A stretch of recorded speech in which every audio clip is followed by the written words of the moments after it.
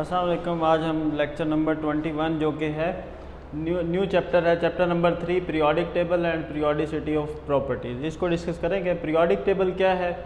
Periodic table the arrangement of element according to atomic number as based upon the periodic law यानी atomic number की बुनियाद पर elements को arrange करते हैं ग्रुप्स में और पीरियड में।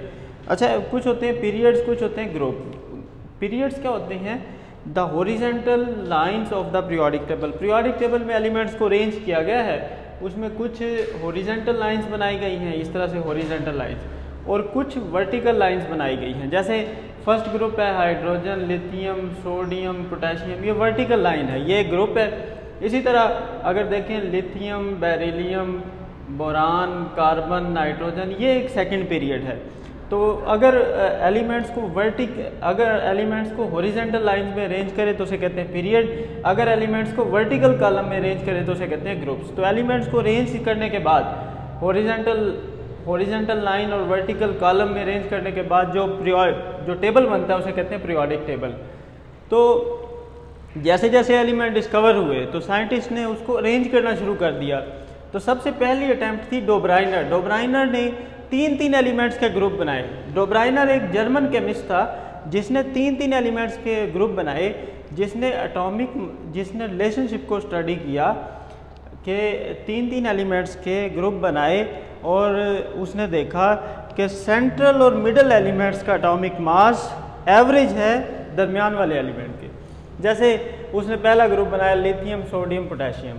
जब इसका एवरेज लेते, पहले और तीसरे एलिमेंट्स का अगर एवरेज लें तो दरमियान वाले एलिमेंट का एटॉमिक मास आ जाता है। जैसे पहले एलिमेंट एटॉमिक मास सेवन, तीसरे का thirty nine, seven plus thirty nine, दो वैल्यू हैं, sum of value divided by number of value, forty six divided by two, दरमियान वाले एलिमेंट का एटॉमिक मास आ गया। तो डोब्राइनर ने क्या किया था? तीन तीन एलिमेंट्स के ग्रुप बनाए। इसमें जो सेंट्रल एलिमेंट का एटॉमिक मास था, वो पहले और तीसरे का एवरेज था। इसके बाद ये जो क्लासिफिकेशन थी ये ज़्यादा कामयाब ना हो सकी, क्योंकि ज़्यादा एलिमेंट्स के ग्रुप नहीं बनते थे। फिर उसके बाद न्यूलैंड ने ऑक्टेव्स पेश किया। न्यूलैंड ने आठ आठ एलिमेंट्स को अरेंज किया। In sixty, eighteen sixty six, Cannizzaro ने अटोमिक मासेज मालूम किए। एग्जैक्ट अटोमिक मासेज मालूम किए। फिर 1864 में न्यूलैंड ने लॉ ऑफ़ ऑक्टेव्स पेश किया। लॉ ऑफ़ ऑक्टेव्स क्या था? कि अगर एलिमेंट्स को अटोमिक मासेज की बुनियाद पर अरेंज किया जाए अगर एलिमेंट्स को अटामिक मास की बुनियाद पर रेंज किया जाए तो कुछ वक्फों के बाद, कुछ इंटरवल्स के बाद उनकी प्रॉपर्टीज़ रिपीट होती हैं। यानी सेम केमिकल प्रॉपर्टीज़ रखने वाले एलिमेंट्स एक दूसरे के नीचे आ जाते हैं।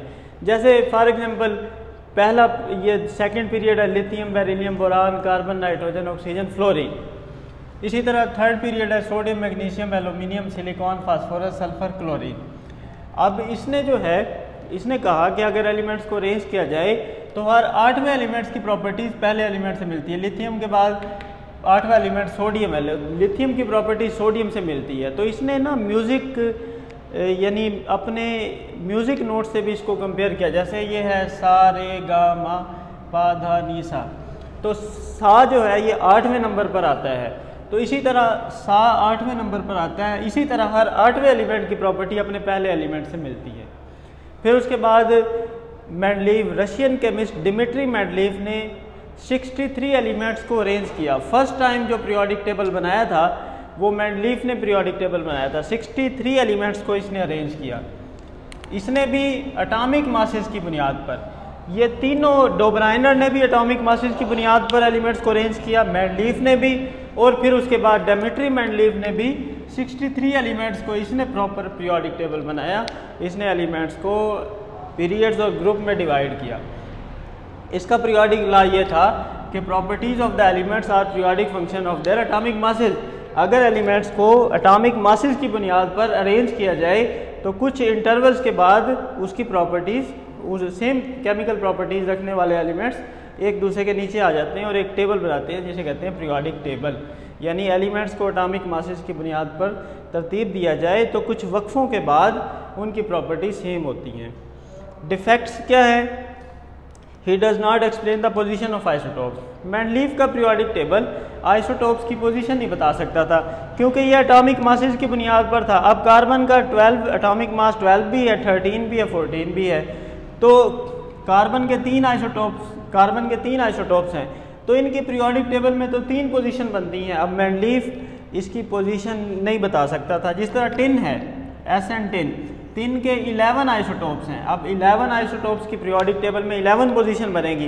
तो मैंडलीफ इसके बारे में कोई नहीं बता सकता था कि कितनी, किस तरह एलिमेंट्स को अरेंज करेंगे पीरियोडिक टेबल में। उसके बाद उसने मैनलीफ ने कुछ एलिमेंट्स को गलत तरीके से अरेंज किया था रॉन्ग आर्डर में लिखा था। जैसे पोटेशियम पहले आना चाहिए, इसका एटॉमिक मास 39 है कैल्शियम बाद में आना चाहिए, इसका एटॉमिक मास 40 है। मगर मैनलीफ के पीरियोडिक टेबल में पहले कैल्शियम था, फिर पोटेशियम था। तो इस तरह से इसको, इसके एटॉमिक नंबर इसके जो एटॉमिक मास सही तरह से अरेंज नहीं किए गए थे। यह था आज का हमारा लेक्चर इंशाल्लाह नेक्स्ट लेक्चर में मूजले ला को डिस्कस करेंगे। Thank you